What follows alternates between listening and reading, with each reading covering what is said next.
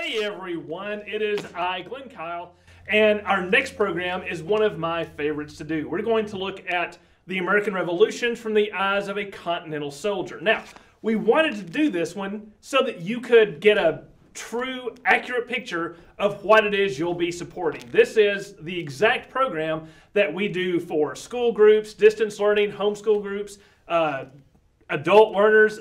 When they ask for a Continental Soldier Revolutionary War program, this is what they're going to get. So make sure you enjoy this. And if you think this is something that everyone should have access to, please think about giving a donation at the links below because this is what your money will support. Now, enough of that. Let's get into a Continental Soldier. So, I am dressed as, as I said, a Continental Soldier of the American Army. Now, the American Revolution, of course, began in 1775 and went all the way to 1783. And it's important to remember that we didn't know who was going to win. This is one of the important things about history you need to think about is that when we look back on it, we know how it ends. But you have to put yourself in the mindset of those who lived in the time, and you have to remember the complexities of what their life was like. So, travel back in time mentally to 1776, 1778. And there are lots of different soldiers fighting for the American cause. There are militia who are men, uh, adult males between the ages of, say, 18 and 45, who could be called up immediately and bring their own clothing and weapons to go and fight for the cause, and then go back home when the danger is over. There are provincials who are raised state by state, and they are usually signed up to serve for one year terms. Then there's the Continental, the lowly Continental soldier who would sign up for a variety of terms depending upon when in the war, eh, excuse me, when in the war he joined. It could be one year, it could be three years, it could be for the duration. But the Continental soldier provided the core and the regular forces of American independence. They were going to be given uniforms, they were going to be given equipment, and they fought in a lot of different battles in all the theaters. Now, let me go ahead and go through the, the life of a soldier and some of his equipment. We think of soldiers as someone who's going to be fighting. And American Revolutionary War soldiers did their share of fighting, but that was not very much of most of their time. They're only going to be actually involved in military combat operations maybe 1 to 2% of the time. So, what are they going to be doing the rest of that time? Well, they're going to be training, and drilling, working with their officers. They're going to be marching to and fro, depending upon where the generals of the armies think the armies need to go. They're going to be doing fatigue duty, which is a fancy term for digging trenches, uh, doing cooking, uh, preparing uh, meals, forts, building roads, bridges, things like that. And during the wintertime, they're going to be staying as warm as possible and still drilling and training and building their winter quarters. There's a lot of physical work to being a soldier. So why would people join up? There's a lot of different reasons throughout the entire length of the war. Initially, people wanted to sign up because they believed in the cause of American independence. There were also a lot of young men who may not have had very many other opportunities. They wouldn't have had very good paying jobs. They wanted to get away from home. They wanted an adventure. And so, one of the best and quickest ways to get into an adventure was to join the Army as time went by, a lot of those folks either tended to drift away or became so involved in the Army that they wanted to stay. And by the time of the end of the American Revolutionary War, you have a lot of different types of men serving in the Continental Army. You have men who have deserted from the British Army, men who have deserted from the Hessians, who were mercenaries hired by the British, who are in the American Army. You have freed or soon to be freed former slaves, African Americans who were serving in the Continental Army. As a matter of fact, by the end of the war, records are, are not exactly reliable, but we think as much as 10 to 15 percent of the Continental Army was made up of African American soldiers. And they're, as I said, they're going to be issued and they're going to be trained. General Washington's goal with the Continental Army was twofold. Number one, he wanted an army he could depend on in the field to stand up to British regulars. And at this time, the British Army was one of the best trained, best equipped armies in the world. And you couldn't just go up against the British Army and hope to win. So General Washington needed those soldiers to be well trained, well disciplined, and to really know their job and to have the, the state of the art weapons and equipment. Number two, he needed the Continental Army to survive. And as the war went on, and especially looking back at the course of the war now, we realize that part of Washington's genius as a military leader wasn't really how he fought the battles. On a tactical level, actually ordering his forces on an actual battlefield, he was okay. He, he could get by. But his real genius was in realizing that he didn't necessarily have to fight to win. He simply had to not lose. Now, think about that for a second.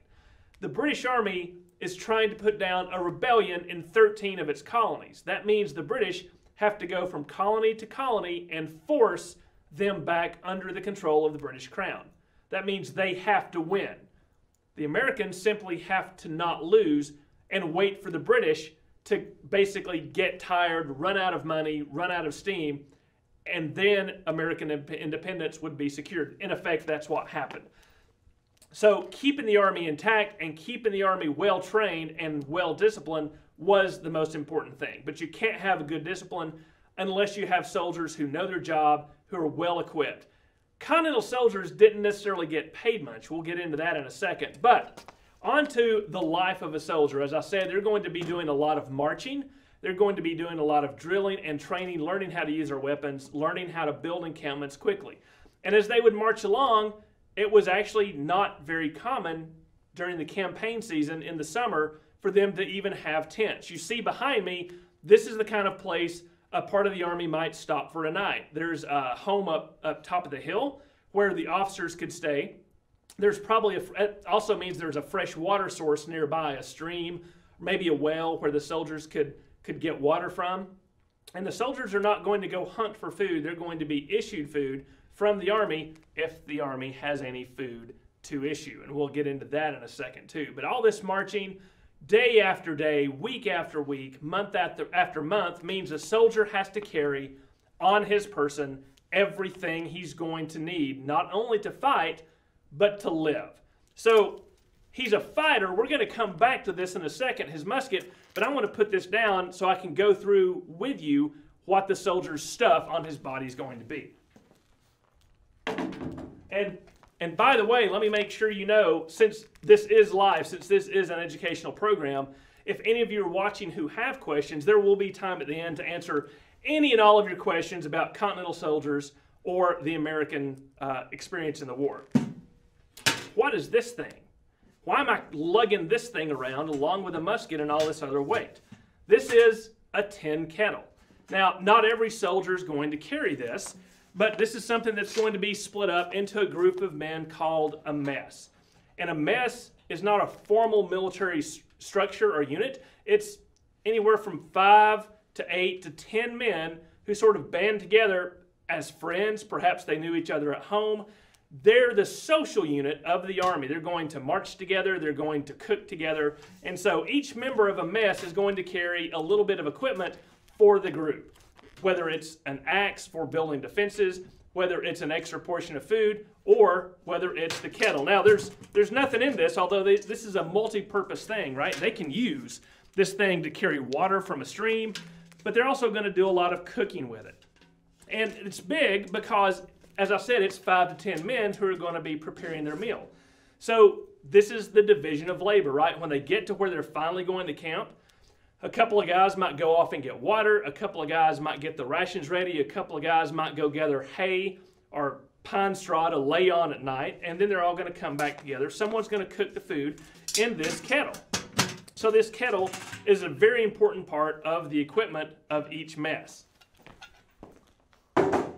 Now, the men marching are going to have to carry, as I said, everything on them. And I want you to think about your day right? When you wake up in the morning, you get out of bed in your bedroom, um, you probably go to the bathroom, you brush your teeth, you wash your face, and then you go to the kitchen and you're gonna, you know, prepare a meal and eat a meal and things like that. You're living in a house. And each room of your house generally has uh, one or two different purposes. Soldiers don't get to stay in houses all the time, very f- seldom, as a matter of fact.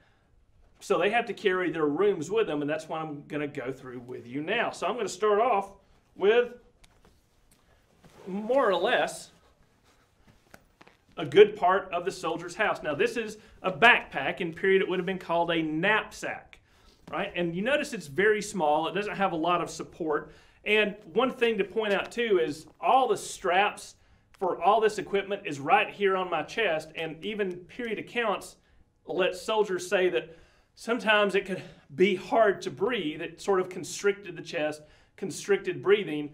And it wasn't for goodness about another 60 years that the United States Army decided, why don't we put some stuff on a belt and not put everything on straps across the chest? But that's neither here nor there. So, what am I going to have in my knapsack? Let me open it up here. The uh, first thing I'm going to have in here, the biggest thing in my knapsack, uh, if I can get it out, is this. Goodness gracious me, it's an exciting blanket, right? Just a folded up wool blanket, maybe thin, maybe thick. This is my bedroom, right? This is where I'm going to sleep. This is what I'm going to cover up with if I'm cold. That's it. No pillow, no bed, no nice rug to sit my bare feet on when I get up. Just this blanket. That's the bedroom, okay? What else do I have in here? I have, oh, this could be very important. Maybe this is part of my bedroom. It could be, because I'm not going to sleep in this goofy hat. I'm going to sleep in this if it's cold, which is just um, a watch cap, piece of knitted wool that can go over my head, or I can even wear this in cold weather underneath my hat. Ah, here in my knapsack, and just for the record, that's it. That's all there is in my knapsack. May not look like much, but there's my bathroom, right? And by bathroom, I literally mean a bathroom. I have um, a comb to keep my hair in order. Hygiene was actually considered very important in camp. I have here a mirror so that I can see my beautiful self as I comb my hair. And, you know, again, cleanliness and hygiene were important in camp. They were considered something important and essential to keep a soldier healthy and in fighting trim. So, a razor, I also have a razor here. This razor may be shared by between several men of the mess. And so, you know, they would they could shave themselves. So there's there's me getting ready. And something else in here. Oh heavens, heavens, something incredibly valuable that I'm almost loath to show you. It's so valuable you might want to steal it. Do you know what that could be? That is a piece of soap.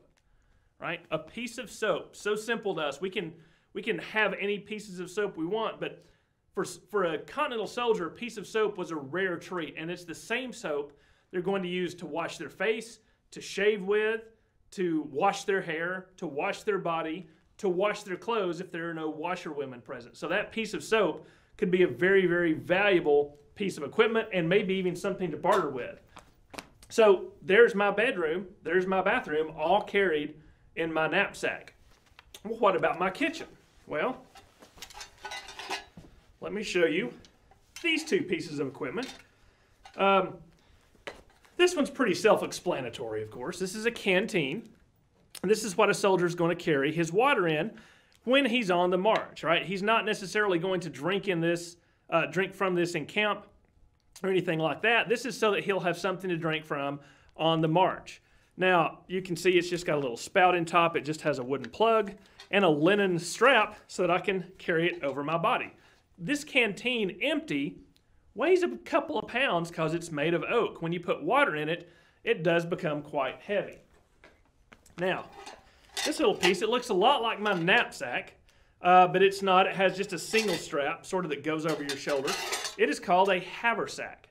And you'll notice it's very rattly and makes a lot of noise. Well, this, this is the kitchen, right? This is where if I'm issued any rations like uh, flour or pork uh, salt pork or something like that, all my food is going to go in this bag. And in this bag, as I said, are going to be the kitchen. Oh, look, I have a tin cup, right? Got a drink out of something. I have a tin bowl, which is going to be my bowl, my plate, what I dip from the tin kettle in. And in here I also have, where did it go? A spoon. Again, it seems very simple, but this could be a very important part of a soldier's equipment. He doesn't have a spoon, he doesn't eat. So every soldier is going to have a spoon, whether he brings it from home, whether he steals it from a farmhouse on the side of the road, what have you. Now, they could the, the food they're going to issue to soldiers. The main concern is that not so much that there'll be a lot of it, but that it is preserved. There's not going to be a lot of fresh meat. There's not going to be a lot of fresh bread because those things you have to cook in place and, and carry and they'll go bad relatively quickly. So that's why they're going to have salt beef, salt pork. It's a good way of preserving the meat. They would put so much salt on this stuff that sometimes they would have to soak the meat for hours just to get some of the salt out of it.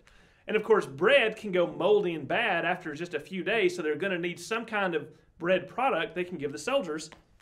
So they go with this, and this is really just a, a thick piece of, it's called ship's biscuit because it was often used on ship's voyages. By the time of the Civil War, they've got a new name for it, hardtack. But they didn't call it that in the American Revolution. Notice it's a round shape, and it really is just flour and water that they bake and then bake again. So it's basically twice bake, baked to get as much moisture out of it as possible. And that's it. That's that's not a lot of stuff, is it? It can't be because remember the soldiers having to carry everything that they're going to use and need. So they're going to be very, very selective with what they carry on their person, what they carry in their body. There's only a couple of other things that a soldier might carry. They're going to use their pockets. So here we have just a right, just a basic pocket knife, an incredibly useful tool that can be used for a lot of different things. Almost every soldier is going to have a pocket knife in his pockets. And then here we have uh, a small wallet, an attache, whatever you want to call it, that a soldier may carry. This is not an issued piece, but they're going to need some place to put their papers, to put their money, and and so they might carry something in that. They have some, uh, if they're if they're lucky, they might have a little small lead pencil with some papers that they can write some notes with. But here we we come to an important issue. We come to to, to money, right? And and a continental soldier is going to be paid, in theory, $8 a month. Sure doesn't seem like a lot now, but back then it still wasn't a whole lot, but, but it was a decent amount. But these dollars were, the, were basically Spanish coins. And I actually have, a, have an example I can show you, right? So it's going to be a Spanish silver coin. Eight of these per month would be considered a small fortune in the American Revolution because they were very rare, very hard to get. Hard money, as they called it, uh, was hoarded, was spent up, and so to make things work, they would they would issue paper money, right? Today, our paper money is fairly stable, fairly common, but back then, it literally was worth the paper it was printed on. Usually it was the promise to pay silver coins sometime later on after the war was won. And I've got three reproduction sample examples here to kind of show you how inflation affected the war. So here we have one in 1776, just as independence is declared. And these are all three, like I said, reproduction notes from Georgia. They're, they're all going to be individually signed. This, this one is for only one Spanish milled dollar because inflation hasn't set in yet. Uh, let's see, here we have one uh, from 1777, and just one year later, this one's gone up to $5 value. Well, with inflation, things become much, much more expensive. Uh, let's see, we have here one in 1778. So only you know a couple of years after independence is declared and people are going to need bigger denominations of paper money to buy the things they need even though they're worthless this one this single bill is $40 right and remember a Continental soldier is only going to be paid $8 a month.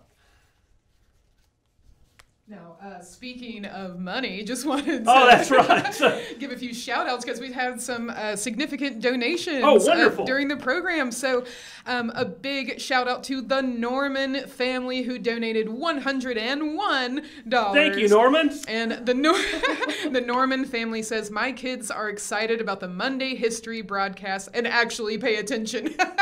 So, talking about our homeschool connection uh, program, we are so happy to have your kids there. They are such a positive part of our week. Thank you to the Norman family, and thank, you. to Merlene Dubay uh, for your fifty dollar donation over the phone. Thank you so much, Merlene. Wow, thank you. So, yeah, so um, thank you for those donations. They go a long way. I assure you, they go much further than a continental dollar would. And thank oh, and thank you for uh, to Regina. Regina, thank you so much for your ten dollar donation. Regina says supporting proudly this magnificent attraction. Thank you so much, Regina. Thank you, Regina. So, we've got through what a soldier is going to carry his bedroom, his kitchen, his bathroom. Uh, we've gotten through the pay that is going to be practically meaningless. There's a great uh, account from an original, one of the few accounts we have of a regular old soldier in the Continental Army called jo- by a fellow by the name of Joseph Plum Martin. And if you haven't had a chance to read this book, I strongly recommend it. I think copies can be had. Uh, he wrote it as a memoir in his old age in the very early 1800s, so you can find copies on Google Book, I think, at no cost. And he served almost the entire war with the Continental Army. There are amazing stories he has. Things like not having enough food and having to boil shoe leather just to have something to eat and chew on for caloric intake. But he also says that they never got paid except for one time. And somehow, and he still can't explain it, one month they all lined up and they actually paid them each eight of the silver dollars that they were due that month. And apparently they were so dumbstruck that they didn't know what to do with them because they'd never seen this much money in years and years. So, Joseph Plum Martin, take a good look at that. Now, how about the uniform that I have on, right? Getting a uniform was considered part of your pay in 18th century armies because, as Marie has just said previously, sewing and fabric and clothes were expensive items. They were. They, there was a lot of labor that went into it, there was a lot of materials that went into it. So, a full suit of clothes was a significant investment by anyone who bought them. And if the, if the Continental Congress is buying thousands and tens of thousands of uniforms, you can bet they're going to consider that part of the pay for a soldier because they're, they're a soldier's clothing. So I have on, I'll go from, from top to bottom, I have on this incredibly jaunty hat, not a tricorn, that's a word we use now, but they would call it a cocked hat because the, the hat is just round but is cocked up in three places. This one has some danglies, really just to denote uh, a little bit of rank and to look good for a soldier because looking good was actually considered an important part of a uniform for an 18th century soldier, probably more so than being practical. The soldiers didn't have any say in it. Here's your uniform, you get what you get. I have on uh, a tailcoat. Let me turn around. You can kind of see the coat. The it has uh, fronts and backs that sort of pin together right here. So those can be let down in colder weather if I need more more coverage. It has red facings, and by facings I mean the parts that go down through here in the front and the cuffs and the collar. Generally speaking, this is what denoted a military uniform from a civilian uniform. They would be faced in different colors so that it would have this martial look, and it has, as you can see, a lot of buttons. Believe it or not, buttons could be a, a, good part of the expense of a coat. Now, most people, when they think of a continental soldier, think of a blue uniform with red facings. This is the image we have of the classic Continental. And later on, that was true. That was the color that George Washington generally wanted his soldiers to have for a uniform, classic American look, as opposed to the red British uniforms. But early on in the war, the Continental Army was willing to take anything that it could get. And so its ally, even before it became a formal ally, they purchased a lot of uniforms in France that came in both brown and in blue. And when they all came over to the United States, basically Washington said, well, we need to divide these out by regiments so that the regiments, at least within the unit, have the same color. So I am wearing one of those brown coats that was very typical. My accent belies it, but for some of those Pennsylvania and Massachusetts soldiers that were going to get this, this brown uniform. You see a lot of this style of continental uniform, say during the, the crossing of the Delaware for the Battle of Trenton, the Battle of Princeton, and almost all the way up to Saratoga in 1777. But later on in the war, in the North, the uniform had basically become the classic blue coat with red facings that we think of today. I also have on what we're in period called small clothes, a waistcoat that goes over a white shirt, just and this is could be either linen or wool, and wool trousers, wool knee trousers that come up that come just below the knee. And then I have on stockings, which if you think of your socks, imagine your socks, but they go on right over your knee, and then the pants sort of go over them, and the, right around your knee they, they come together. They actually do provide a lot of warmth. And I have on those classic buckle shoes from the 18th century. Now, this is not by any stretch of the imagination what every single soldier is going to have at every point in the war. Supply issues, wearing out on campaign, soldiers are going to look very different. And, and there are a lot of instances that we know of where soldiers have been issued a uniform and they have to wear that uniform for so long during the campaign that they are simply going to be in rags. There, there may not even have proper shoes to wear. There, there are accounts of men's shoes wearing out, and they simply take like cow or pieces of goat hide, fold them over their feet, and tie them at the ankle so they'll have something to go over their feet. So it, it really varies based on supply, based on the local situation, both north and south. And what I have on now, and the equipment I have on now, is pretty much what a newly issued soldier is going to look like. All this stuff is in pretty good shape. Now, let me uh, come back to the musket, right? This musket is, again, from France. This is a French uh, Charleville musket. It is a flintlock. It uh, has, it's a muzzleloader. It fires about a, it's a 69 caliber, 0.69 inches is what the barrel inside is. It's a smooth bore, so it does not have rifling. And the idea with these muskets is that they would be issued to military forces, and the men would join together in large units in line and fire these weapons all at once, all in the same direction. That's how the tactics of the 18th century worked. And it's important to remember sometimes, as Americans, we tend to think back to the American Revolution and say, oh, well, the British were stupid. They wore red. We hid behind trees and fired at them one at a time that's not how. Sorry about that. That's okay. the soldiers needed to all be in line. Again, a good soldier could fire one of these about three times in one minute in ideal circumstances. It used probably closer to two times a minute. And the officers had to direct that fire to go to one place at one time to be as effective as it could be. And so the men had to drill and train in line how to move, how to make directional changes, how to about face, and do all these things together as one unit. There's a lot of drilling and training that goes into this. This is called a flintlock. Let me come a little closer uh, because it uses a concept of flint and steel. So, and, and we've got a video we want to show you of one actually being fired, but you have here a pan and you have a hole going through the barrel from the pan into the main part of the barrel. And you load the charge into the barrel, the main gunpowder part, with the ball, and you put a little bit of powder here, and then you close the pan like this. And I'm going to show you. Let me pull this back. And when you uh, pull the trigger, hopefully you saw some of those sparks. Those sparks are going to fall into the pan and set the gun off. Now, we want to go to a quick video uh, to show you, and it, it, the video is outdoors because, you know, outdoors is the place you want to fire a black powder weapon. And it goes through the details of how to load and how to fire the musket that is typical to an 18th century soldier. So I want to talk to you about how the weapon was loaded and fired in the American Revolutionary War.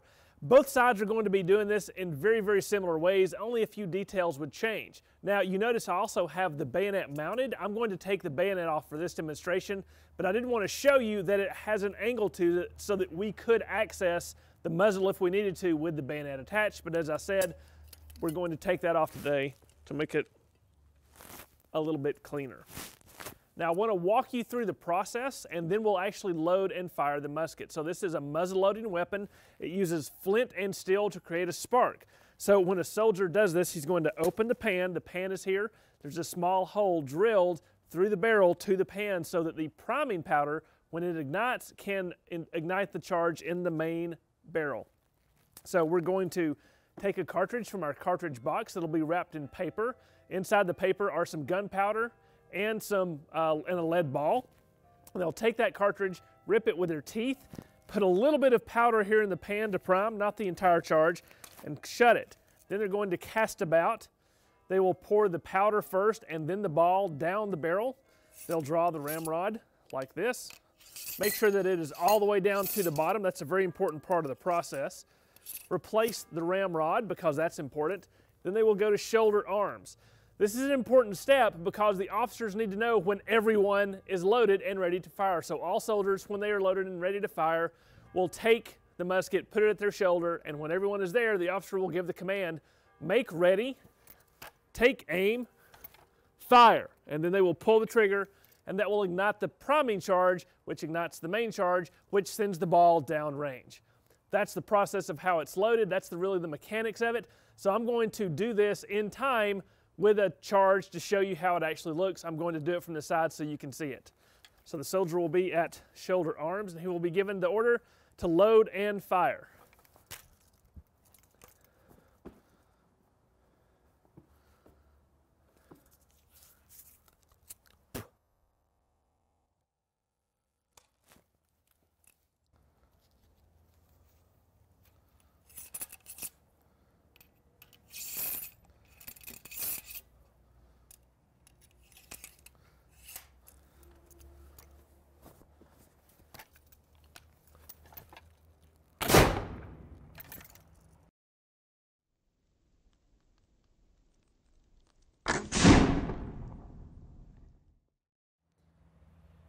Then come back to this position and listen for another order to load and fire. If they're doing it by volley, if they're uh, loading and firing, they will simply go back to loading at this moment. So that's the process. You see, it can be rapid. All those motions have to take place in a short amount of space because, of course, they have a lot of friends on either side of them. That's the loading and firing of the Revolutionary War musket. All right, so you saw there the glory of firing a flintlock musket. And a lot of those movements and motions that I was going through, they seemed sort of stiff and, and, and rigid, but they're supposed to be because you have to remember that you're in a line, you're in linear formation uh, with your company. A company is going to have anywhere from, from dependent upon, again, when the war, how big the unit is, from 30 to 50 men. And a regiment's going to have anywhere from 300 to 500 men in it and they're all going to be standing shoulder to shoulder and they're going to have to be moving their musket around. They're going to have to be marching um, in, in line. And so these movements have to be very practiced and very rigid. And when I say training and drilling, that's really what I mean is that, first of all, when a soldier comes to the Continental Army, they're going to learn to do those things, as you saw me just doing, one at a time. The, the corporals are going to take these new men to the side, they're going to work through the motions with them, help them understand the basics. Then they're going to be put into a larger unit, uh, just a group perhaps of 10 or 20 men so they can figure things out. And then the company is going to drill and practice so that the officers and the men can learn how the company is supposed to operate in battle. And then they're going to have larger and larger up to the regimental and perhaps the brigade level. Now, when I'm saying company and division and things like that, what, what does that really mean? So for the American Army, as I said, a company on paper was supposed to be about 50 men. With attrition, with losses in battle, with desertion, sometimes that figure could get as low as 20 to 25. But a regiment is supposed to have about 10 companies in it. So you just multiply that number by 10, and that's where you get the number for a regiment, anywhere from, from 4 to 500 men. This is the confusing part. When you start reading about the American Revolutionary War and the battles and the units, sometimes they'll call something a regiment, sometimes they'll call something a battalion. This is very confusing. And I'm going to be honest, for years, I couldn't grasp the concept because they just use them interchangeably and never describe the difference. Well, I'm about to let you in on the military historian secrets. They're the same thing. A regiment and a battalion for all intent and purposes, is the same thing. It's weird. Basically, when it's marching, when it's doing paperwork, when it's getting supplies, it's a regiment. When it's on the battlefield and actually participating in a battle according to the drill manuals, it's a battalion. I know it seems silly, but that's the way it works. So don't worry too much about those terms. And, and generally speaking, in the American Army, uh, a captain is going to be in charge of a company, and a colonel is going to be in charge of a battalion or a regiment, and a major is going to be there to sort of be his second in command. And to when they would combine several different regiments together, three to five, that would be placed under a brigade. And a brigade, you would have a colonel or a brigadier general. And a brigade, uh, two or, or more brigades would be formed into a division. And then uh, division would go all the way up to an army. So again, depending upon a what part of the war you're in, how big the armies are, you're going to have these different groupings of men, and that helps the officers be able to give, as we would say today, command and control. You want to be able to organize things, give your orders to only four or five men, and then those men could, uh, your division commanders would tell their brigade commanders, the brigade commanders will tell the regimental commanders, the regimental commanders will tell the company commanders. And so it goes. Now, that can still be very confusing on the battlefield. You probably noticed when I fired the musket, just one time, a lot of smoke came out of that. So imagine 50 men in each company firing all at once. When they do, your target is going to be obscured for the next at least few seconds. And the people shooting at you are going to do the same thing. It's a very, very confusing thing. Sometimes they would try to use drums on the battlefield to give commands, but as you can imagine, a drum may sound a lot like an artillery boom or a musket boom, so that can also be very confusing. Battles are very confusing. They're very, very frightening, right? People are trying to kill you. You're trying to kill other people. And so the experience of battle in this time period was something that was different for each person, but everyone was probably afraid. And, and that's the thing you have to remember. When I say a good soldier could fire three times a minute, well, you know, just standing there practicing with no one trying to kill me, I can I can load and fire this thing three times a minute. If there's someone 50 yards away from me trying to do the same thing, I'm probably going to start shaking and, and, and slow down a good bit, right? So, a Continental soldier, why were they fighting for American independence? As I said, the ones who had done it for adventure or to get a, a quick amount of money, they, they've disappeared by the middle of the war. And, and it's Washington's men. And, and in the South, the ones he sent south under Nathanael Greene, they're the ones who hang on, keep the Continental Army alive and a, and a center of resistance. You have to remember the British won most of the battles of the American Revolution. George Washington lost most of the battles he was a general at, but he kept the army alive. And the British, they took city after city. They took Savannah. They took Charleston. They took Philadelphia. They took Boston. They took New York. They took all the cities where uh, re- resistance to the crown was centralized. But it didn't matter because that Continental Army that embodied the spirit and reality of resistance remained intact. And it's those officers and men, more than anything else, on the American side of the Atlantic that really made a difference in us achieving victory. Now, there's lots of other things that go into the American Revolution. The help of the French and the Spanish is incredibly important and central uh, because when they joined the war, not only did they give us aid, but it forced Britain to fight the war not just in the 13 colonies, but across the entire Atlantic Ocean, in the Caribbean, in, in uh, the Mediterranean, in India. So their forces become spread very, very thin we're getting more and more help, so we have a great victory in the Americas eventually, but not all at once. So now if uh, if anyone has any questions about the things I've talked about today, about some of the equipment, how the men fought, how the men lived, or just a general question about the American Revolution, please put that into the chat and we will answer it as, as best we can.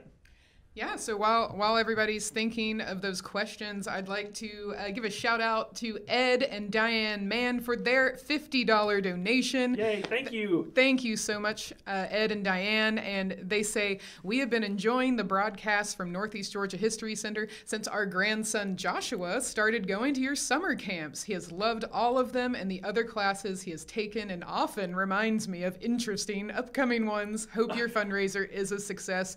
Well, y'all are certainly certainly helping us uh, make it a success. And Josh is an awesome student. We have Josh in uh, in Homeschool Connection, and yep. he's often in the in the streams as well. So thank you so much. Now, uh, let's see if anyone has questions. But in the meantime, Glen, could you speak to uh, the roles of women during this time? Yeah, absolutely. And it would be a mistake to think that women did not play a role in the movement for American independence. Uh, both ideologically and, and physically. So, women are 50% of the population now, just as they were then. And, and they had voices. Now, society and culture is different. It, it did tend to place women in a more secondary and subservient role to their male counterparts, especially once they were married. We have great letters back and forth between John and Abigail Adams, which is probably the closest example that we have to an equal partnership in the 18th century. And those letters are fantastic. And you can tell there was a real tenderness and affection that they had for one another. And we always look to that, and we should, but I don't want you to think that that was a, a typical relationship either. Many uh, marriages were made for convenience, many marriages were made for economic necessity. But they did play a role. There, there were women at the in the crowd at the Boston Massacre, right? There were women who participated in the war effort. As a matter of fact, women were part of the army, an official part of the army, and and not for what some of you may be thinking. Uh, the soldiers, as I said, had a lot of duties to do. They had to, to dig entrenchments, they had to march. They are not always going to have time to keep their uniforms clean, to keep uh, to, to cook their food. So uh, the Continental Army per regiment had a set number of women that were allowed to come along with the regiment to serve as cooks and washerwomen. And they would not necessarily get paid by the Continental Army, but they would be allowed to draw rations. They would be allowed to eat from the Army supplies, and the men were expected to pay them for the washing that they did. It was not required that the men have their washing done by the women, but it sure was convenient, and the women could make money this way and accompany the army. And if they had had children, they could bring the children as well. Now, like I said, it was generally not allowed for every soldier's uh, wife or, or sister or, or mother or girlfriend to come along with the army. It was a very formal role. And so not everyone had their wives there, but some men could. And these women became an everyday part of the army, became an everyday part of camp life. Not only doing cooking and cleaning, but sometimes they may, may be able to uh, get some vegetables with some trade locally and be able to sell those vegetables to the men. Uh, they may have other wares that they could sell. They may be able to make shirts. Uh, and that's what you have to remember. These uniforms, uh, the men only get one coat, um, one you know pair of breeches. Really, the shirt is the, I don't want to say disposable because they're still not disposable, but that's the piece that's closest to your skin, right? That's what the men are going to get dirty, they're going to sweat on it. That's what has to be washed on a regular basis to maintain health. So if they're lucky, they might have two shirts, but more frequently they're only going to have one, and that shirt's going to be, have to have to be washed to stay healthy on a regular basis. So the women are going to have a lot of work. They may be able to make shirts. So women play an important role in army life. Women play an, uh, an important role in just keeping the spirit of the people moving because you have to remember that wars are won on the battlefield, but they're also won in the spirits of the people, of the nation on behalf of which the war is being fought. And that, that home front belief and the cause is going to be an incredibly important factor in keeping the cause going. And the cause of independence had support from both men and women. However, incredibly complicated sidebar, there were also a lot of men and women who believed that the rebels were bad, who believed that the crown should be superior, and they stayed loyal to the British. These folks were called Tories, and that is an incredibly complicated story. Libba, can I have six more hours to talk about that? Uh, maybe next time. Okay, maybe next time. maybe in our second annual telethon. Yes, absolutely. So, um, Nick in the chat says, Glen, so uh, what role did aliens play in the American Revolution? Just kidding. Great idea and great job. Thank you, Nick. But it does bring to mind aliens of a different sort. So, uh, when it comes to people who are not citizens or not uh, settlers or, or colonists. Uh, you, you, you mentioned Spain's role. I mean, outside right. of those who were formerly under the, the British Crown, uh, talk about the, those. Um, those connections uh, outside of Britain or outside of the Americas that helped in the war effort. Okay, so there's a couple of different ways we can look at this. We can look at the big picture. And from the big picture, backing up a couple of decades, the British had won the French and Indian War, which had kicked France out of, uh, totally kicked France out of North America and had kicked a fair bit of Spain out of North America, right? This was a huge war for empire. In Europe, they called it the Seven Years' War. Britain had come out on top, big time, in the great game of empire between nation states. Those nation states wanted to get back at Great Britain in any way that they could and maybe maybe get some some territory back but they just really wanted to humble Great Britain and bring it down a peg or three internationally and economically. So when the American rebellion began to take place, Spain and France were like, "Hmm, interesting. Let's let's watch this for a little bit. Let's you know what? They haven't immediately been crushed. Let's let's send them some weapons. Let's send them some money. Let's let's get a ship in there that maybe they can use on on the on the seas."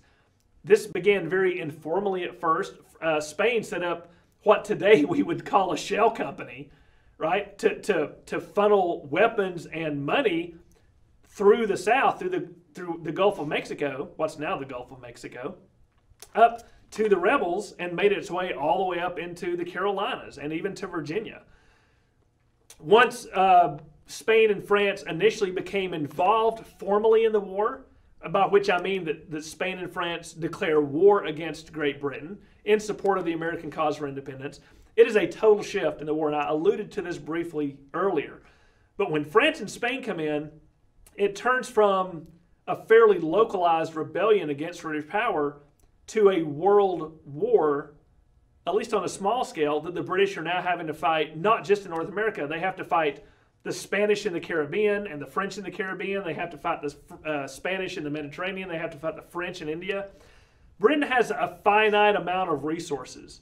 And so they have to start pulling ships and men from North America and sending them to the Caribbean and to the Mediterranean and to India. And so when France is able to, and to, to send some soldiers to North America, when Spain is able to send its navy to the to the southern part of the, uh, or I guess technically the Middle Atlantic, where the Caribbean is, they start to overwhelm the English powers. And and most of us know about the French helping us out, right? They were at Yorktown and, and things like that.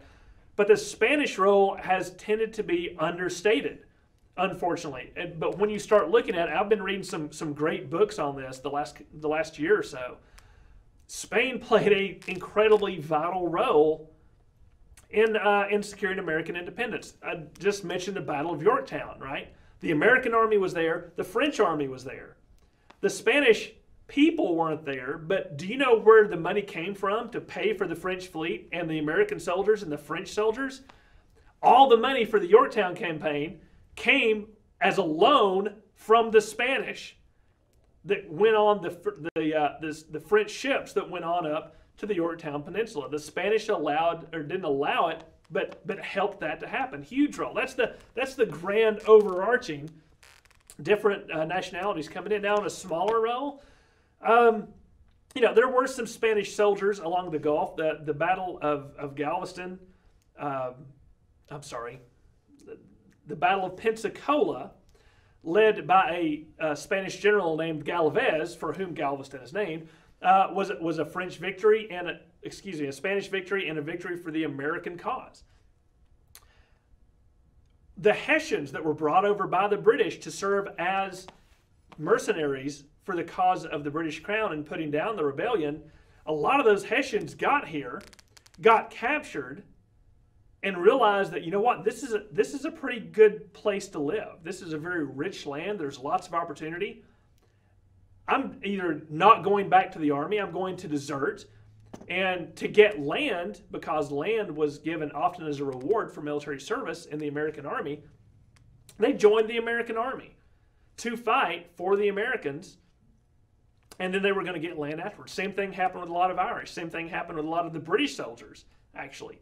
So you get a lot of this amalgamation in the Continental Army that simply isn't really present in the formal armies of Britain or of Spain or of France. The, the Continental Army, as I said, becomes a, a polyglot of, of different uh, nationalities and different backgrounds. African Americans, uh, free and enslaved, uh, Germans, British, some French. Um, it's, it's a remarkable thing, and it becomes a very diverse force by the end of the war in 1783. So, yeah, there's a, there's a lot of, of, of cross nationality influences on the American Revolution. It's not, it's not just Americans hiding behind trees and shooting the rifles at people in red coats. So uh, it looks like we, we don't have any questions in the chat, uh, but we are uh, at the end of our hour. And I also want to thank Nick for his $15 donation. Thank you so much, Thanks, Nick. Nick. You must have liked your, your answer to that. so, uh, everyone, I also just put in the chat on uh, Facebook and YouTube our program, which has all of our donation tiers. So we have lots of awesome thank yous. Um, in in our donation tiers. So take a look at those, make your donation. And uh, coming up next, we are going to have a, a open fire cooking demonstration with Marie. Um, but before we head out, uh, Glen, is there anything that you feel like, uh, as a historian, that people ought to know or, or that people often misunderstand about the American Revolution that you want to leave us with today? Yeah, the one thing I'll tell you is that, and, and this can be applied to a lot of history, but perhaps especially to the American Revolution. Today, we have what could be interpreted as a foregone conclusion, a, a, a specific, inevitable sense of destiny that the American nation was going to not only be born, but, but survive and thrive. And when you look at the time, that simply wasn't the case the founding fathers, and just using that term comes with a lot of baggage too, but some of them admit, like John Adams, they didn't know what they were doing because they had, there had never been a revolution like this before. There had never been a war like this before. And so they're kind of just finding their way, doing what's best, always on the verge of what seemed like disaster. As I said, George Washington lost battle after battle, right? This was not an inevitable event by any stretch of the imagination. And even the Battle of Yorktown, which we think of as the last battle of the American Revolution, does anyone out there know when it took place? It was October of 17, uh, 1781. When was the peace treaty signed? 1783. So there's at least a good year and a half of time when the Americans don't know it's over right? There's been a huge victory at Yorktown, but that doesn't put the official seal of the end on the on the war for independence. There's a lot that still has to be done. So so don't think of the American Revolution or anything in history. Don't take its outcome for granted just because we can look back and see what the outcome was. Put yourself in their place. Understand their struggles. Understand their uncertainty, and understand that they are doing the best that they can in a situation that they don't know how it's going to end.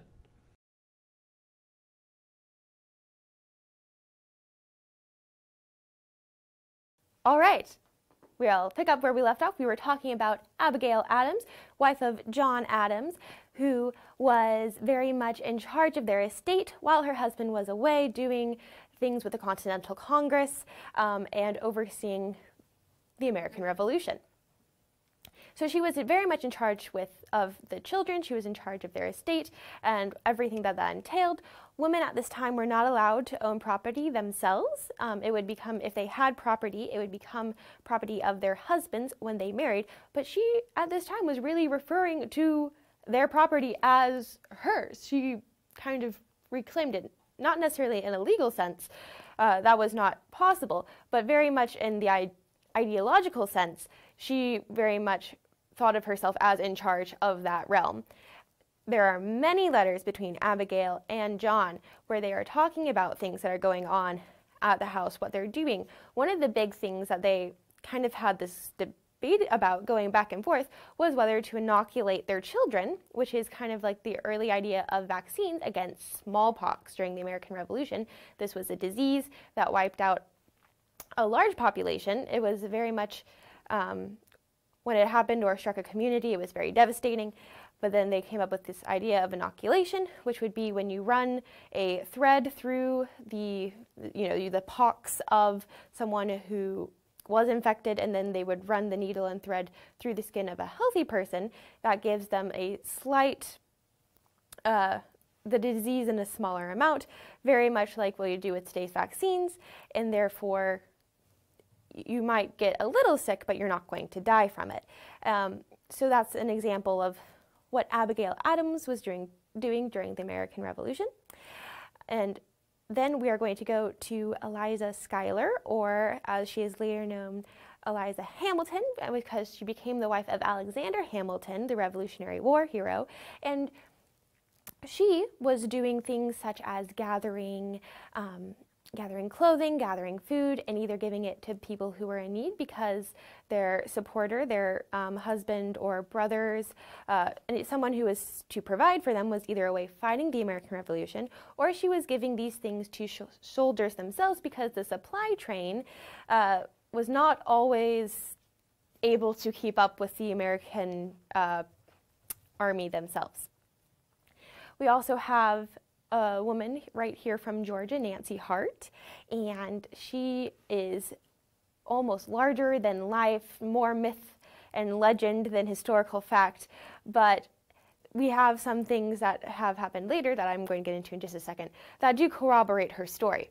So, Nancy Hart, we have several towns and a whole county named for her here in Georgia, was actually named Anne Hart, but Nancy was a nickname for Anne at the time. So Nancy Hart was living out in a cabin up in northeastern Georgia, and that's also an area where some British soldiers were hanging out as well as um, continental soldiers. And there are lots of stories of incidences of uh, British soldiers coming to spy on Nancy Hart and see what she was up to, and she would fend them off and shoo them away. Uh, but the the biggest story of hers is when there were, I believe it was six uh, redcoats came into her house and they killed her last chicken and they demanded that she cook it for them. And she was not about to have that, but she was a smart woman. So she had them come into her house, she got them drunk on her corn liquor, and then while they were uh, not exactly the most focused of people, she snuck out their guns through the side of her log cabin. So we know it was a very rustic log cabin, which means there were gaps between the, the logs, and that's how she passed them out of her house to one of her many children. And then she kept one and held them at gunpoint, uh, waiting for either her children to go signal someone or uh, just until Continental troops came by to then capture them. During the time when she was holding at gunpoint, one soldier actually rushed her and she shot him dead. And then the rest of them decided that they were not going to try that. Eventually, her husband and some other Continental soldiers came by. They held trial because they trial because they had killed her chicken, and then they hung them the next day. And that is the tale of Nancy Hart. It's hard to say whether for sure that happened or not, but it is uh, some archaeological evidence happened where they went to where they believed the Hart cabin was, and they did find the body of six men. So it's very, the story is plausible, but we aren't exactly for sure. But that, that is Nancy Hart. She was said to be a six foot, red headed, burly woman, which I think that's just a larger than life character. She was also illiterate, so it's not like she could necessarily write or recount the story in some type of writing that would become a historical document. Uh, this is a challenge for historians as if you have a large portion of the population that is illiterate, it is hard for them to then create documents that survive them. So you go on oral history. And that brings me to my next woman, Betsy Ross. So you might know Betsy Ross as a woman who sewed the first American flag. And while we believe that story to be true, it is hard to say with 100% certainty that that is the case because there are no surviving documents from her time period that said she did but we have the sworn affidavits of her children and grandchildren in the 1870s, almost 100 years after the first American flag was to have been created.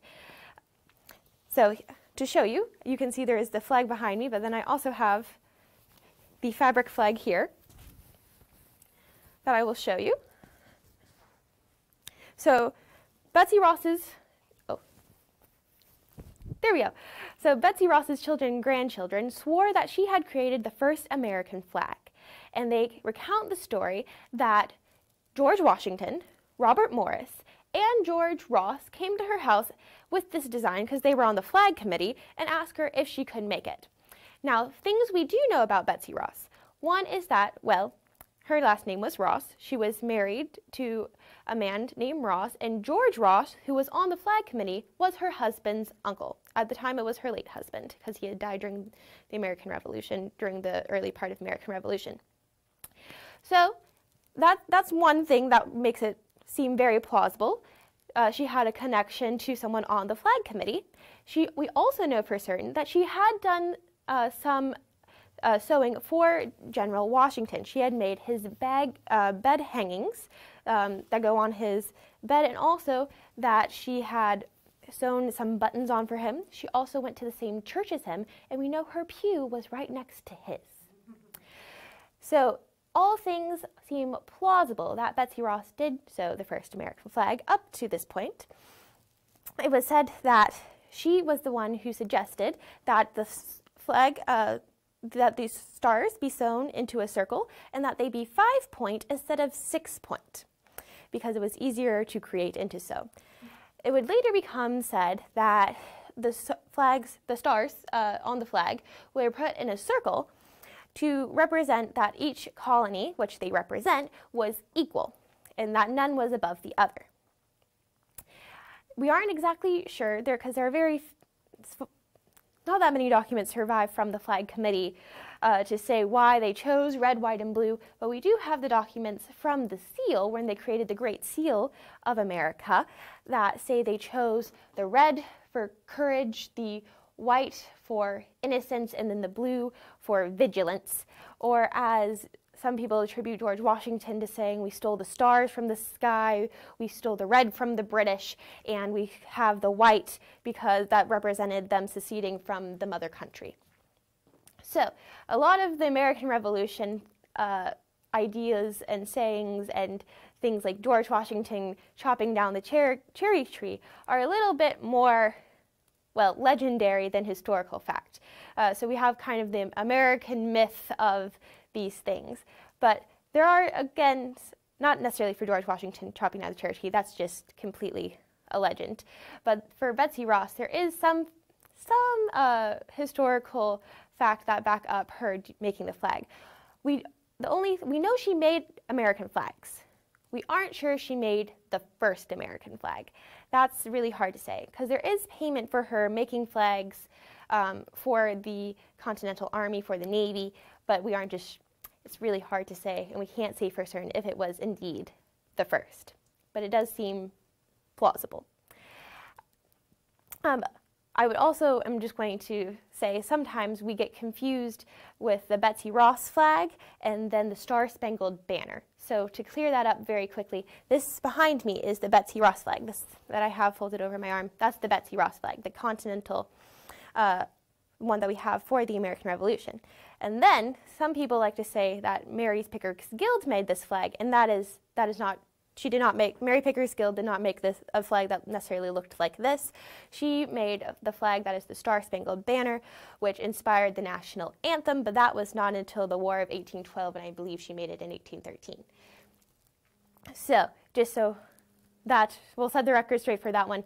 Mary's Pickersgill and Betsy Ross were not in a battle over who made the first American flag um, because they are in different wars and different time periods. So that's the great thing about the American Revolution. There are so many great narratives. There are so many complexities about it. There's so many individual stories like Nathan Hale and, and Nancy Hart and Betsy Ross. We hope you go out and do a lot more research on this. Thanks for tuning in today. I wish we had more time. Thanks, Marie, for joining Yes, us again. absolutely. Um, and we hope that you've enjoyed these. We hope you tell all your friends and all your family. Please continue to watch. If you can give us any financial support during this time, we appreciate it. But if you can't, that's okay. We're just glad to have you. So until we see you next time, stay safe and take care.